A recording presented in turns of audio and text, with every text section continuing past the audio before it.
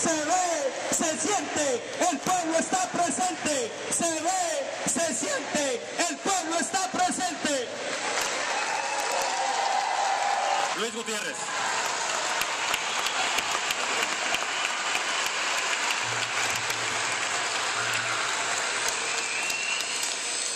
Número uno, gracias por la invitación de estar aquí esta tarde con ustedes en Alabama. Y tengo que decirle que hay estaciones de radio y hay estaciones de radio. Y la verdad es que lo primero que le tenemos que decir a los dueños, a los, a los que trabajan, ¿verdad? En la jefa, gracias, gracias y gracias por ser una voz triunfante de nuestra comunidad. A todos los que trabajan dependiendo los inmigrantes, quienes pudieron organizar esta actividad aquí esta tarde. Pero ahora quiero también asegurar que tengamos una perspectiva histórica de Alabama. But I also want to give a historic perspective of Alabama. And so I want to say to Councilman Austin, al asambleísta municipal Austin que habló con ustedes, I want to say to him, because of what your parents and your grandparents did, because they stood up fearlessly when there was hatred and discrimination, because they stood up. Luis Gutierrez has a voice in the Congress of the United States, and we intend to do justice with that voice.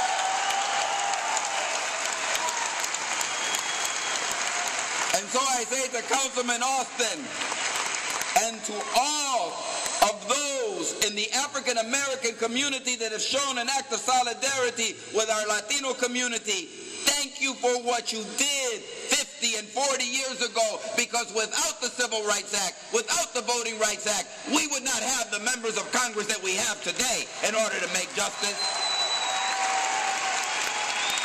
I say thank you.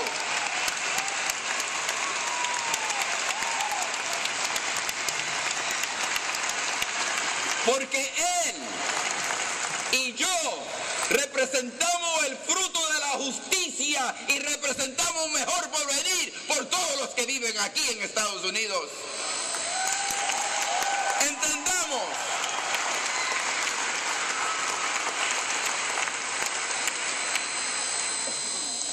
que el odio, el prejuicio, la discriminación siempre ha estado entre nosotros.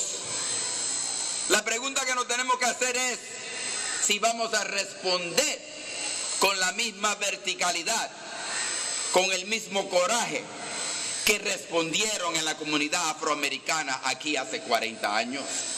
Y yo le digo a los que odian en Alabama, te derrotamos hace 40 años y te vamos a derrotar hoy. Piensen un momento. Hay matrimonios. Yo, por ejemplo,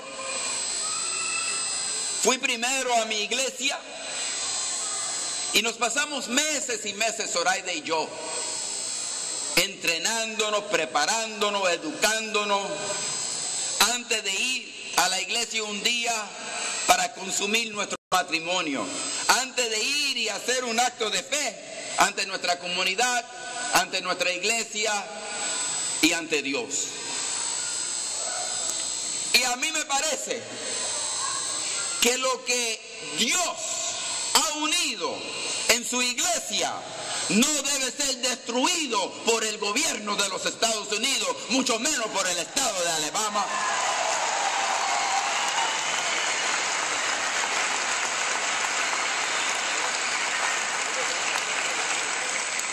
Y quiero hacerle claro algo a todos los que escuchan aquí hoy, que han venido aquí con una determinación de exigir justicia ante este atropello, que este congresista no descansará que este congresista no dejará de levantar su voz. Porque mañana cuando yo regreso a mi casa, ahí estará Zoraida, ahí estarán mis hijas, ahí estará mi familia, respetado por el gobierno y no descansaré hasta que todas las familias y todos los matrimonios y todos los niños sean respetados de una manera igual.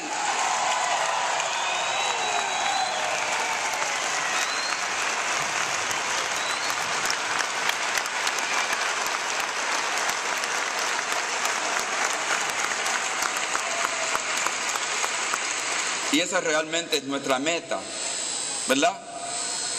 Porque nosotros aprendemos a amar a Dios sobre todas las cosas. Pero ¿cuál es la otra regla que aprendemos? ah? Amar a tu prójimo como a ti mismo.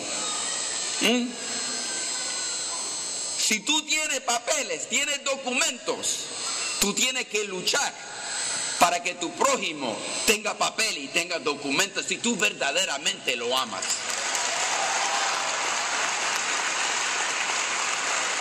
Si tus hijos se levantan por la mañana y pueden ir a la escuela libre para aprender, tú tienes que luchar para que tu prójimo también pueda mandar sus hijos. Si tú tienes una buena casa, si a ti te respetan la ley, si nadie amenaza tu matrimonio y tu familia, tú no puedes amar a tu prójimo como a ti mismo si tú no los defiendes a ellos. Así que esta es una celebración aquí hoy.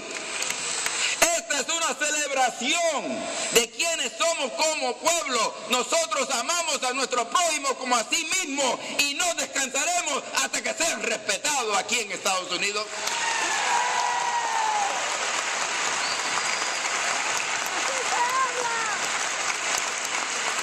Ahora,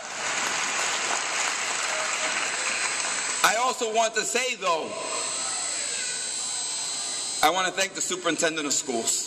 Let's thank him once again. Por favor, un aplauso para el superintendente de escuela. Gracias. Thank you. You do not know what it means to us to have you here.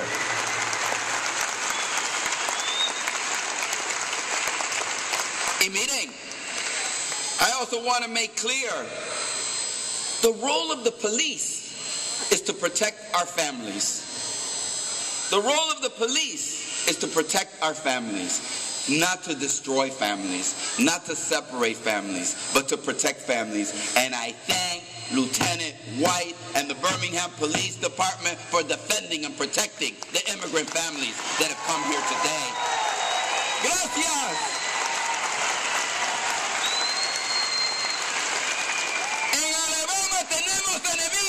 Pero también tenemos gente haciendo actos de solidaridad. And so to Lieutenant White and all of the wonderful men and women who are out there making sure that they're there to serve and to protect our community, I say thank you. Because we need you more than ever. We need you more than ever. Así que hay cosas que celebrar. Ahora, yo estaba pensando, so, ayer, viernes, le mandé una carta a our Secretary of Homeland Security. Le mandé una carta haciendo dos cosas. Número uno, agradeciéndole al Departamento de Justicia del presidente Barack Obama por venir aquí y denunciar la ley antiinmigrante.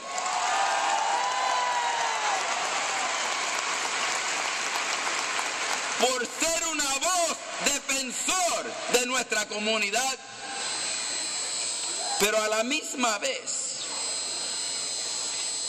but at the same time, we said, look, you cannot have one hand of government fighting in the courts against HB 56 and then have the other hand of the government destroying families by deporting them from the United States of America. Because in the end, in the end, they bring fear and trepidation to a community that they believe is defenseless.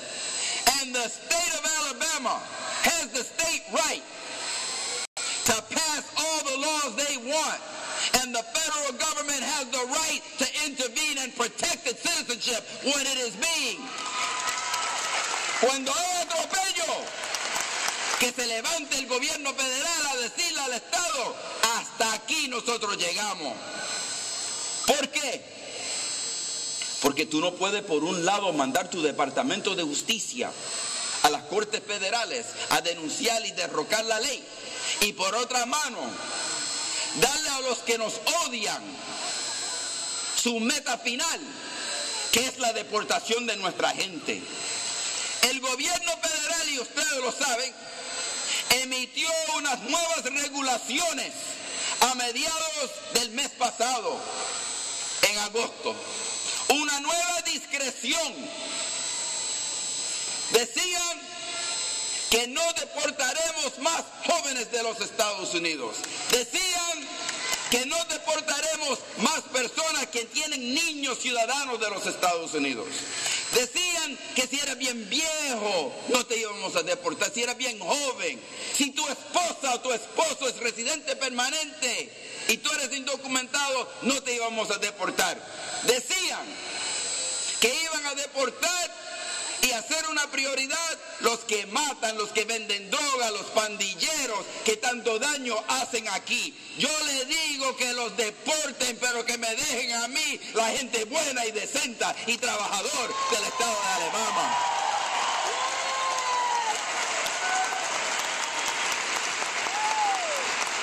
Porque no todos los que vienen del extranjero son inmigrantes. Los inmigrantes son los que vienen aquí a trabajar, a dejar la gota gorda, ¿ah? a buscar un mejor porvenir. Así que para mí es claro, y nosotros tenemos que insistir en esto. Ustedes saben que el gobierno federal dijo a mediados de agosto que eran los criminales. Así que si la policía en Alabama arresta a un indocumentado, si la policía estatal, local, un, un alguacil, si cualquier miembro del aparatus de policía aquí en el estado de Alabama agarra a un inmigrante indocumentado, nosotros lo que estamos esperando de esta administración, que lo suelte y que lo devuelvan a nuestra comunidad.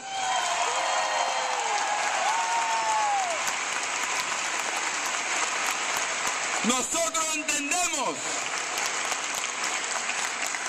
que nosotros los inmigrantes somos seres humanos que buscamos un mejor porvenir. No somos criminales, somos seres humanos, no somos ilegales, son personas de seres humanos indocumentados aquí buscando un mejor porvenir. Así que me parece a mí que el gobierno federal está con nosotros y le damos nuestro agradecimiento.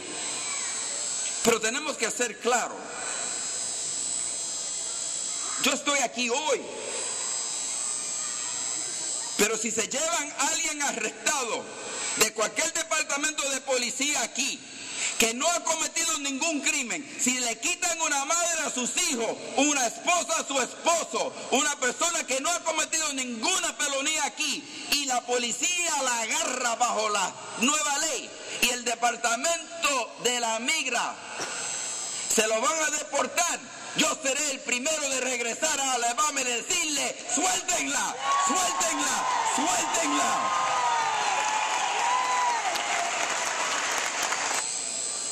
¿Cuántos de nosotros estamos dispuestos a poner en peligro nuestra propia libertad? ¿Cuántos de nosotros estamos dispuestos a estar incómodo ante esta ley? A poner en peligro quizás que tú no vas a pasar una noche con tu esposa, con tu esposo. A enfrentar y confrontar esta ley. Ahora, yo creo que es bien importante nosotros organizarnos como comunidad. Yo voy a regresar al Congreso de los Estados Unidos. Yo le voy a decir que vine a Alabama, que lo escuché a ustedes Y ahora es el momento no simplemente de Luis Gutiérrez parar y levantar su voz. Si eres congresista hispano de Los Ángeles, es momento de levantar tu voz.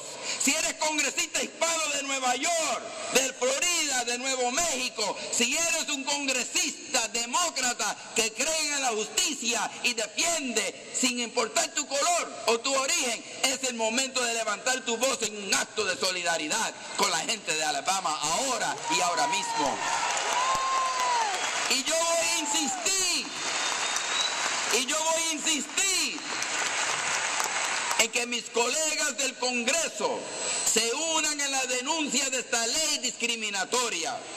Porque mantener el silencio es permitir que actúen con impunidad contra nuestra comunidad y nosotros nunca vamos a tolerar eso. Nosotros tenemos que entender que somos una comunidad que tenemos amigos, pero hay que reunir esos amigos. Hay que reunir esos amigos con una voz singular, porque nosotros vamos a ganar. Déjame decirle a ustedes, en Alabama quizá no tengamos la fuerza suficiente para castigar nuestros enemigos pero lo tenemos en otras partes de los Estados Unidos. Y nosotros vamos a reunir esas fuerzas para decirle que el que no denuncia esta ley, que el que no hace acto de solidaridad a esta ley, pues no merece el voto de un latino, sea en Los Ángeles, sea en Nueva York, sea en Chicago o en ninguna parte de la nación. O están con ustedes aquí hoy, o que no esperen que ninguno de los 50 estados nosotros votemos por ellos. Momento de la definición es clara.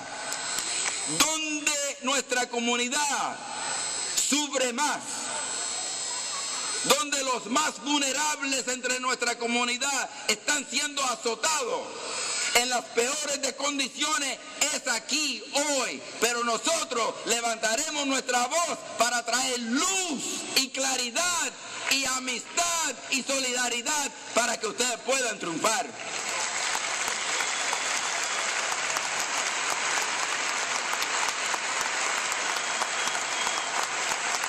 And so I want to thank all of the wonderful friends that have done this incredibly magnificent job. I didn't know how many people were going to be here today. I thought maybe, you know, 50, 100. Somebody said a couple of hundred. Mire, tomen un momento y miren todos los que están aquí. ¿Mm? Miren un momento todos los que están aquí. ¿Mm? Just take a look at all that are here. Uh, because you know, we're going to win this fight. We're going to win this fight so the children can go to school, so they can get health care, so that people can go about their business with freedom and with justice. Because it's an anti-immigrant law, but it's also an anti-Alabama law. It's an anti-Alabama law. Think about it one moment. When restaurants are empty that are owned by people of Alabama, it hurts the people of Alabama. When there are fields that you are not able to harvest, those farmers are citizens of Alabama. It's anti-Alabama when a farmer can't get his crops to market. When tens of millions of dollars are lost in revenue to cities and counties and states, And when those of us in the state of Alabama that live in the state of Alabama, for all of those that have to wait hour after hour after hour to renew their driver's license or to get their plates renewed, it's anti-Alabama. So let's all join together as we have in the past to make sure that we make Alabama a better place for us all. I want to say thank you. Regresaré las veces que ustedes me lo pidan. No hay espacio suficiente grande para separarme de ustedes. 40 years ago, there were people in Alabama that stood front of the doors of school to deny an education to black children. 40 years ago, they stood in those doorways of school to deny a quality education. Today, they stand in front of those same schools to deny the children of immigrants an education. We beat them then, we will beat them today. America is greater than the evil that we see. The hatred, the discrimination, the bigotry that this law represents. We have defeated it before. We will defeat it again. We will not rest until all of you have the freedoms that are guaranteed by the Constitution of the United States of America. Muchísimas gracias por tenerme aquí.